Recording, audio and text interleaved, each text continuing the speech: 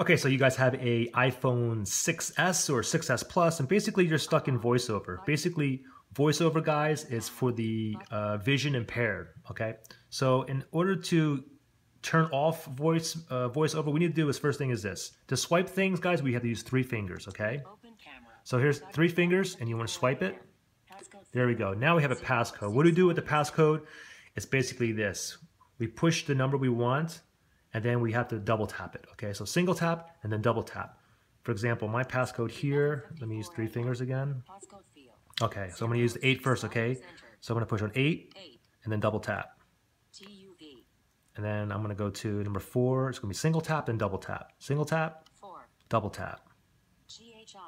And then number seven, single tap, double tap. Four, single tap, double tap.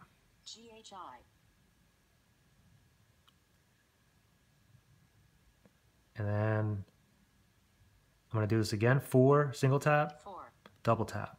GHI. And then number five, single tap, five. double tap. JKL. And what do you know? Now we're in. Okay, now we got to do from here is we need to go into settings, guys. Go into your settings. settings. Single tap, double tap. accessibility Okay, and then once we're once we're in here, hold on one second. Okay, once you're in the settings, what you want to do is you want to scroll down. And what you want to do, what you want to do is go into general, okay? So single tap, double tap. Single tap, double tap.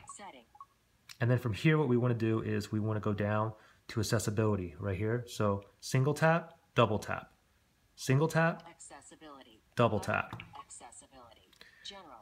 And then from here, we see voiceover. So single tap, double tap. And there you go. Now we need to turn it off, guys. So we're going to single tap, double tap. Now, voila. Pretty much it. If you guys have questions or anything, just comment below. All right, thanks. Bye.